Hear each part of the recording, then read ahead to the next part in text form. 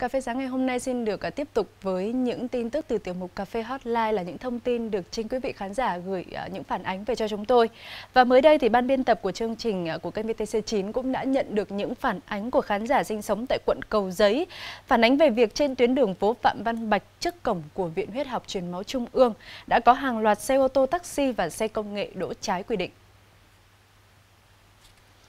Theo như những phản ánh thì trước cổng số 1 và số 2 bên ngoài Viện Huyết học Truyền máu Trung ương trên tuyến phố Phạm Văn Bạch thuộc phường Yên Hòa, quận Cầu Giấy.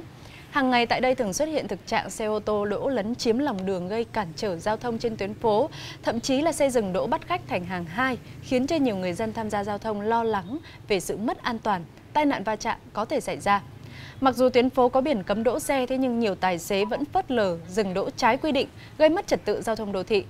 Trước thực trạng trên, khán giả mong muốn cơ quan chức năng, cảnh sát trật tự phường Yên Hòa, cảnh sát giao thông quận Cầu Giấy sẽ kiểm tra xử lý và chấn chỉnh thực trạng trên để đảm bảo an toàn giao thông cho người dân lưu thông qua khu vực này.